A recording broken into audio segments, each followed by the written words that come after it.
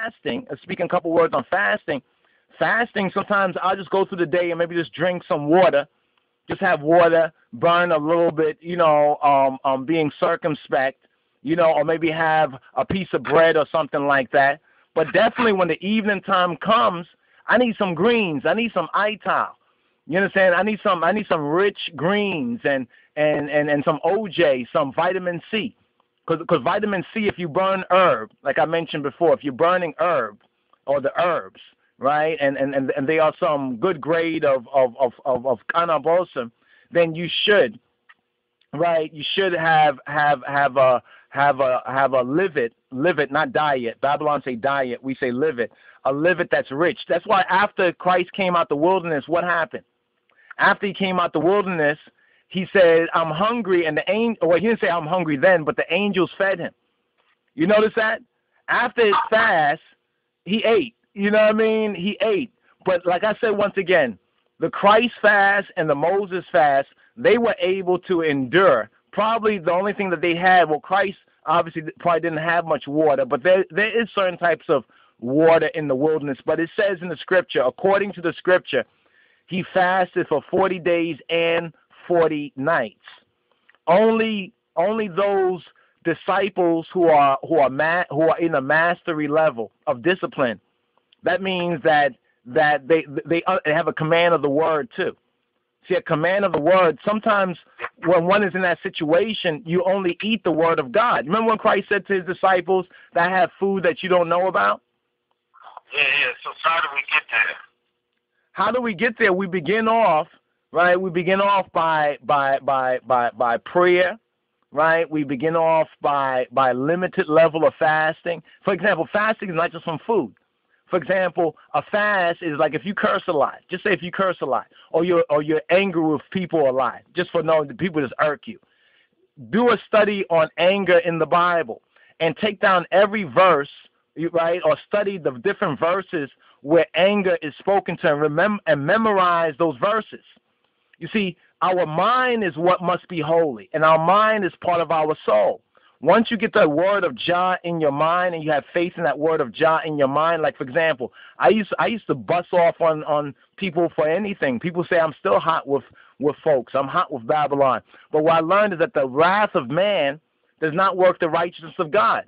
So a lot of us think by getting angry with people and cursing at them and and oh you always make sometimes not sometimes, but when you're in the discipline, you learn to have more faith in that word, and you do what the Christ said in, in John chapter 7, 17. Let's look at John chapter 7, 17 for a moment, bro. Because I got a couple more minutes here with the eye, but it's a very, very good question you ask. And we do get there, but we don't have a rush to get to higher heights because you know, like if you're climbing mountains, you know who's at the top of the mountains? If you, you go into the mountains, the wild animals are up there. The wild animals, just like spirituality, and then also the jagged cliffs and the edges. So, so when people start off mountain climbing, they try to climb the big mountain only if they are undisciplined and unlearned. And if they try to climb the big mountain, they're gonna fall off and, and might bust their head.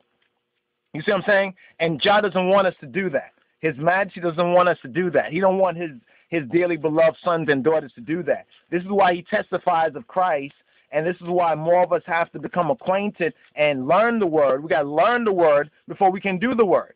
Most of us want to do, but don't learn, and all we're doing is doo doo. All we're doing is like little children shitting on ourselves. I mean, I'm just going to speak bluntly, right? Um, John chapter 7, right? John chapter 7, verse 16, Yeshua answered them and said, My doctrine, doctrine means teaching, is not mine, but his that sent me. Well, pray tell, who sent Yeshua? It's the Father, right? So when the Father, when our Father visited the earth, who did he pray to? Yeshua. You understand? And how do we know that his witness is true? Is because it agrees with every jot and tittle of the word.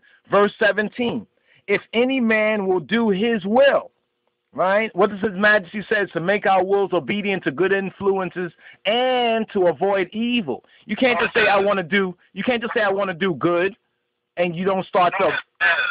Huh? Uh, uh, yo, I forgot to ask you. What what should I say? Twelve with the Bible when you go to court.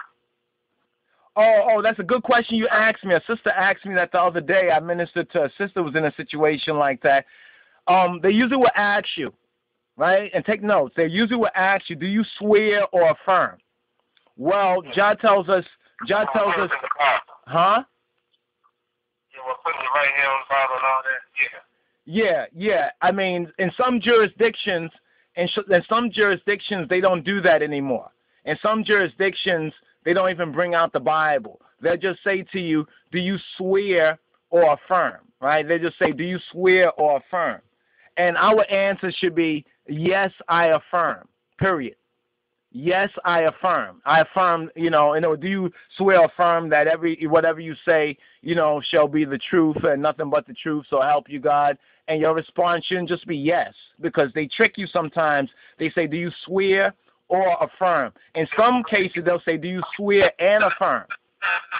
Huh?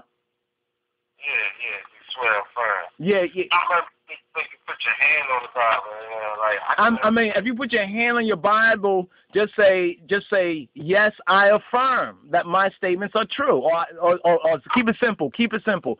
Yes, I affirm. Yes, I affirm. You see, you see what Christ taught us, and where is that found? Where is that found, my brother? Where is that found in the Word? Where? See, we got to know where the Word is. You see, it says to love, love Him with all of our, all of our heart, right? All of our our mind and all of our soul. So if we don't rec- if we don't keep His word in our mind, you see, everything is spiritual, it's mental. It's it's mental, but it's it's what quality of spiritual food are we putting in our minds? What quality of word is coming out of our mouth? That's the that's the first level of true spirituality. It ain't about just seeing angels and demons because you could run into some very malevolent forces out there, and and, and you and your soul will be naked. You, your soul will be naked because you would not have that word. You understand? You wouldn't have that word to counter the devil. You know, I mean, what you gonna say to to to the evil spirits? You're gonna say "f you"? They like that. They like that sort of talk. You understand? They actually like that sort of talk. You know what I'm saying? Because they know that if you claim to be a child of God, you know that that's that is opposite right? That is opposite of what the um of, of, of what his word of what his word says to us. So let's look right here. Let's find that word, right? Swearing. Now, Old Testament sense, they swore, but Christ taught us something in the New Testament sense, and I think it's Matthew. It's Matthew twenty. Uh, let's get this right here. Hold on for a moment, my brother. He says right here. He says, uh, "Swear, swear."